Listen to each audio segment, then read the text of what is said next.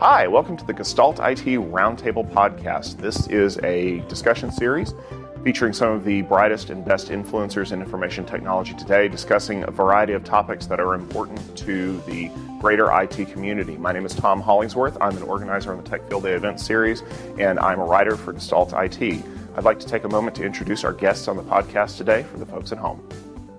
I'm uh, Kevin Myers. I'm a co-founder of uh, IP Architects, and I blog at stubarea51.net, uh, and I'm on Twitter at stubarea51. And uh, what I do is basically network architecture, integrating white box into traditional vendors. I'm Yvonne Sharp. I work um, as a consulting network engineer for a large uh, Fortune 500 healthcare provider. Um, you can find me on Twitter at Sharp Network, and I blog at esharp.net. I'm Eric Stover, enterprise network engineer for a Fortune 500 company. I'm on Twitter at Eric underscore Stover. And when I do blog, it's at 12fs.wordpress.com. All right. Thank you all for joining us today. We appreciate it. One of the topics that's been coming up a lot recently in the networking space, especially when it comes to SDN and all things the future of networking, is the idea of white box switches. And are they going to take over the world? Are they going to replace what we consider to be traditional networking vendors? And it's great that we had all of you here available at Networking Field Day to kind of discuss this topic a little more in depth for anyone who might be interested. So, Kevin, I'd like to get your thoughts on white box switching since you kind of do it on a day to day basis. I mean, are you seeing a lot of displacement yeah, I think we are. I mean, you, you, think about, you know, we, we talk about total cost of ownership and you have these, the, the CapEx and the OpEx scenario. And so when you're dealing with a traditional vendor, you know, the idea is, is white box as stable? Is it as good? Can I deploy it? Can I support it? And I think the answer is yes. I don't think we were always there, but now you have so many different vendors supporting white box and offering that support to say, here's how you get into it and here's how you make it look and feel like what you already have. So I think the support arm is there and that's what we've been waiting on to try to shift this into the enterprise. Hmm. It's an interesting point because support is usually one of the things that I hear kind of the Achilles heel of white box. Um, Yvonne, you work for a large organization. Is support something that's important to you and your, your team when it comes to network hardware? Uh, it's huge for us from a, a corporate decision making standpoint. I mean, when things go wrong, leadership wants to know who, who to call. Um, you know, th- they always want to throw to choke. Mm-hmm. We talk about that a lot. And um, I think especially in an organization where you know you're going to have some turnover. You don't know that, that the people implementing the system are going to be the same people that are here three or four or five years from now.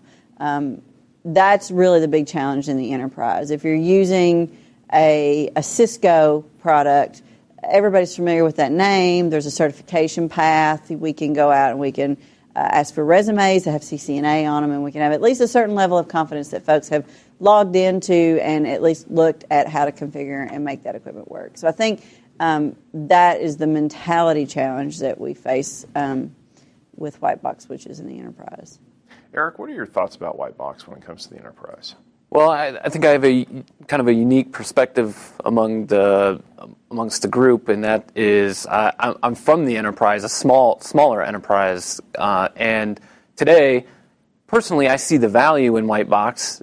Uh, just as Kevin mentioned, the total cost of ownership. We're looking at you know three-year hardware refresh, um, where it ends up being the support actually ends up costing more than the switch. So um, if we can squeeze another two years or five years out of that and kind of equal out the cost of support and the the cost of the actual box. I think that's important for for the enterprise is is kind of equaling out those costs and lowering the total cost of ownership.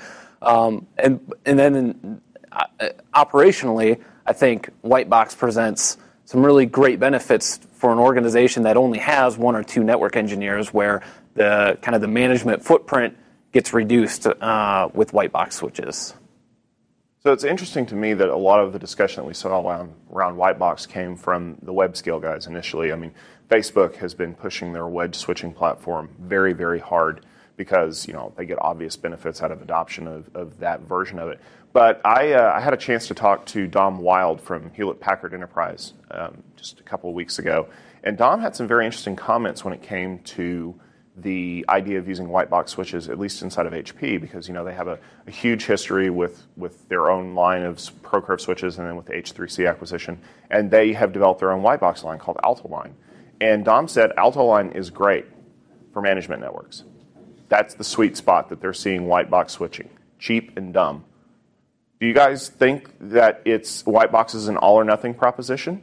No, I don't. I don't think so. So, you know, I, I, I think for me, I'm coming at it from a couple different angles because I, I work in the service provider world and the enterprise world, and so we're starting to use it in both. But the thing about white box switching, I mean, here's the thing: we've always relied on the vendors to tell us what is enterprise technology, what does an enterprise design look like. We have these validated designs, and white box kind of takes that and says, pick the protocols that you need, pick the things that you need to solve your problem instead of saying this is enterprise, this is not. And then you could put those tools into a white box switch because you know it's got an open operating system and you can put what you want in there. And then you build what you need to solve your problem. So we're, we're attacking designs in a whole new way now with white box, whereas before it was just this is how you do this because a vendor X says so.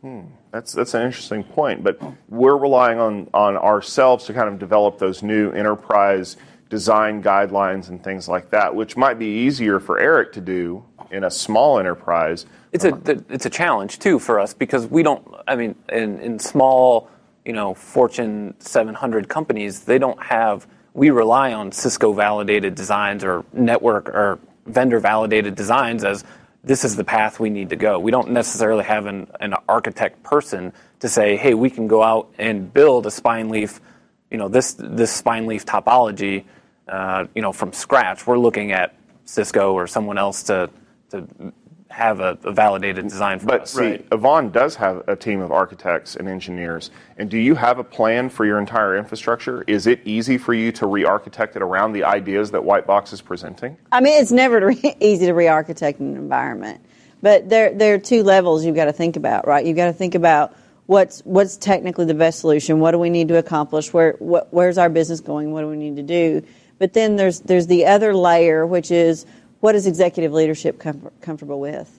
What names do they know? And I think for, in the enterprise, that's the biggest challenge with things like white box switches, because those of us with boots on the ground can be very comfortable with the technology, but uh, the the mixing and matching, and then we can do this, and then we can do that, and and there's all this cool stuff. I mean, when when we start talking that way to executive leadership, that that's not comforting to them. that's scary. Um, and I think the challenge is how do we build a comfort level with white box which is to say, yeah, this is sturdy, it's solid. You know, I've not got some cowboy in my data center who's building something that nobody else can come in and support. Because I think in, in the enterprise, that's the biggest question is is what's the longevity I can get out of it, and how do I support it if uh, if the person who built it gets hit by a truck. And that's where I think going back to the support discussion is I think that the you know not to name certain vendors, but like just in general, the, the vendors in the space that are doing the operating systems that go on the switches have come a long way, and I've started to do a lot of interaction with them, like on design, and like they get where companies are coming from. Like this is what you had, this is what you ran on, and they'll you know start working with you to get a design to say this is what this would look like if you do it with this, and this is how you integrate. And so they're really trying to be cognizant of that. That you, are used to having a Cisco validated design, and you need a I get from A to B this way. Right. And that's that's the play they think they're making, and it's data center right now. But I mean, really, we see this all the way to the enterprise edge. You know, I see one day you're going to have a pair of white box switches and a hypervisor at a branch, and that's that's all you're going to have. You know. And I think it's interesting that that we keep talking about the fact that you know Yvonne works in a large organization where um, management is hesitant to implement a solution they're not comfortable with. You know, small enterprises they have their designs that they need to stick to from reputable, well-established vendors. But the fact is, is that some of the white box solutions that we're implementing from companies like Accton and Quanta, you don't know the name, but you know the device because somebody else ordered it from an ODM and stuck a sticker on it. Would it be easier to adopt these if we started doing things like EdgeCore Networks is doing, where they're not selling you an EdgeCore switch, they're selling you a Facebook switch because Facebook had the design and they're giving it to you. Do you think that that name recognition from someone that obviously knows how to build a network will help increase white box, white box adoption? I think absolutely. I've actually used that argument in sitting in organizations like Yvonne's because I, I, consult for the Fortune 500, and so you sit in there with the decision makers and say, you know, well, why should I do this? You know, why I, I get the capex savings, but how much is it going to cost me in my opex and support? And you say, well, this is, you know, Google is doing this, Facebook is doing this, and obviously we're not those people, but it can be done. Somebody said this can support a critical environment and it can do it and you can still save money. And that was the problem that we're trying to solve and then support it. And so I think that resonates with IT leadership in a lot of organizations. And, and like Yvonne said, they're not ready to jump in with both feet yet. They want it, they want the cost savings, but they're still trying to evaluate you know, is this going to be the right decision? So there's still still some work there to do. One of the one of the things that I think of that's analogous, and you guys can correct me if this is incorrect, but if we look at Linux adoption in the enterprise, it was a very similar proposition, right? Your technologists knew it was a solid technology. Yeah, that's an excellent point. But then you have somebody like uh, Red Hat Enterprise who comes along and they provide an enterprise support model and a validated uh, version of Linux that they can guarantee on this hardware is going to run and will support it. I think that is is the path forward for white box in the enterprise, just because it provides a comfort. It's level. all about the lifeline. It's it's like you know I'm, I can do this. I see this. You guys support this, and I, as long as I can call somebody to get that help, then I can sell this and say yes, we can support this, and we've got a we got a lifeline to call if we've got Right. So let me take one little spur off of this conversation now that you brought up Linux, because one of the things that we're starting to see is a lot of low cost white box vendors are beginning to introduce Linux offerings. So I don't know if you guys are aware of this or not, but today Cumulus Linux announced they're going to start making hardware. Cumulus is known as a network operating system vendor, but now they're going to start making hardware and offering it as a white box solution.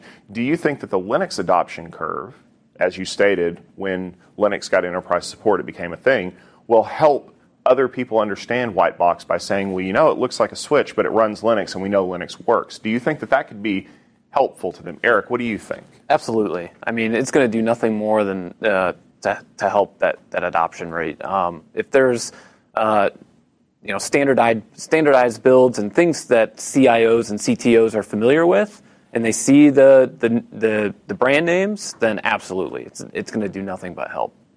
Vaughn, what do you think? Yeah, I think so. I mean, I, it.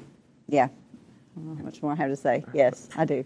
Very good. Uh, Kevin, what do you think? Um, I've got a split opinion, so I agree with Eric, but I think also some of the white box operating system manufacturers are doing the traditional CLI. So they have like some of the SDN type API things, but they still have a traditional CLI. So I think it's kind of a split because some people want that CLI and some people want Linux so they can do the Ansible and the automation. And so I, I think there's value in both because the CLI makes it an easy transition, but you get in the Linux world and you can kind of start to do the automation thing. So yeah, I, you know, I, I think there's arguments to both. Well, I, I think one of the challenges, honestly, sometimes we make it sound too sexy, and that's scary. you know what I'm saying? yeah. Like, I mean, because my network gear, I wanted to, I want it to push packets, and I wanted to do networking, and I don't, I don't want it to run an op- operating system that can also run a mail server, right? Because I mean, could, I think sometimes people think that way, and so we got to be careful how we discuss the solution so that we make sure we make it clear that this is a it's it's real and it's a real deal and it, it does an enterprise job. And I actually think that that's a very good point because white box switching is not the only company that's doing that. Large networking vendors are starting to give you the capability of doing things like running containers in the operating system on a switch because they think that that's what technologists want. When realistically, you know, architects and engineers and even management wants networking as a utility. So, you know, maybe it's time to push back on that. Well, I think the opposite of that. I think the positive side of that is you're giving you the ability to only put the protocols that you need in. So your your you know your ability to catch bugs gets less. And I think it's it, maybe Dell's kind of working on that on a separate operating system. But mm-hmm. it's if I only need you know I need a layer three switch. All I need is OSPF, and that's all I need. I'm going to put a stable OSPF package in and not put all these other packages into the switch because I want the maximum amount of stability. So if you're financial services or you're somebody that doesn't want all these 8,000 other features, you can pick and choose and build your most stable build. So I think there's a, a huge amount of value in that. That's Dell OS 10, and they're doing Yeah. the same thing that Red Hat is doing. You can either use your own modules for free, like Quanta, Quagga, or whatever, Right. or you can buy their routing and switching modules, and you get full enterprise support for that. Yvonne, what were you going to say? I was just going to say, and, and I want to be clear. I mean, I think being able to run VMs and containers on a switch is a great thing. I mean, I think that's that's where we need to go. I just think we need to be careful how we position that and not say, you know, oh well, your switch is just going to run Linux. I, I don't, I don't know Yeah. that that's the right May- approach. Maybe I mean, it's it may more be for running Linux. network services. I mean- like that's what I would see is maybe you need a network service to go run alongside Right. a switch. Maybe it's like a an IPS or I don't know some kind of network service, but we're not going to be like you know spinning running up app- servers. enterprise applications Yeah, well, I think that's switch. why you know, they have small hypervisors. Yeah, I think you have small hypervisors. So like at a branch level, I think you just have a pair of small hypervisors and you know a pair of switches, and I think you could do it with that. And in this room, like we all know that a lot of our big name vendor switches and routers run Linux, Mm-hmm. right? But I don't know that we need to talk about it in those terms. And I think that that's honestly what helped Linux adoption more than anything else is when it stopped being about Linux and just started being about an operating system that makes things work. Linux won the war, but lost the public battle to, to overtake Microsoft when you think about the fact that, you know, BSD and Linux run 70, 80% of the things that people use every day, whether they realize it or not. So, you know, we're going to wrap up here with one last question. Um, you know, five years from now, so it's now uh, 2022, and networking has been completely obliterated as we know it. It's no longer boring and, and it's completely unsexy again. How much of a percentage do you see enterprise adopting white box switching? Ooh, I think I, I think we're going to see at least I want to say at least 30, 40%. I'm not going to go forecast all the way that we're going to be all white box because, you know, enterprise is just, it's like turning the Titanic. It takes forever. So I, am going to say 30 to 40% white box penetration in five years. Vaughn, what do you think? Yeah, I, w- I was uh, a, a, large minority was the phrase that was in my head, right? I think we'll see some of that. And I think we'll see adoption maybe in dev and uh, lower priority workloads 1st mm-hmm. and then we may see it grow. But I think that's a great place to introduce it um, is in your your yeah your management networks, but also your dev environments. And hey, we'll play with this, but let's let's not rip out our core and put it in uh, without some really serious vetting. Eric, yeah, I, I, can only agree with what Yvonne and Kevin said. Uh, I see adoption in non-critical networks, labs, uh, you know, within the next five years, but you know, looking in data centers and production you may see some of the, you know, more quick-moving enterprises adopt, but like Kevin said, you know, there's a lot of enterprises that are on five-year refresh cycles that are going to end at that time, and then, you know, I don't see them going from your standard, you know, fixed switch to uh, a white box switch. Well, and in our world, a five year adoption cycle would be wonderful. I mean, most enterprises in your core data center network, it's seven to 10. Mm-hmm. Yeah, that's, that's not uncommon. And so that, that's one of the things that I hear a lot is, you know, if I can make this next white box switch last 10 years or even longer than that, if I can make it go two refresh cycles, then that's where the real value starts coming in for me is that I'm not, you know, ripping and replacing and doing things like that. And so realistically, I think that that's, that's the positioning for white box is that Whitebox needs to learn to coexist with existing switches and edge cases and then build from that edge into the core. And that's where the real adoption is going to happen. We've already won over the technologists, we've already won over the networking engineers. Now we have to work on winning over the people who write the checks and the people who have to answer the phone in the middle of the night when something doesn't go right. And if we can make those people happy, I promise you that Whitebox adoption will shoot through the roof. The on premise IT Roundtable is once again brought to you by Gestalt IT home to IT coverage from across the enterprise.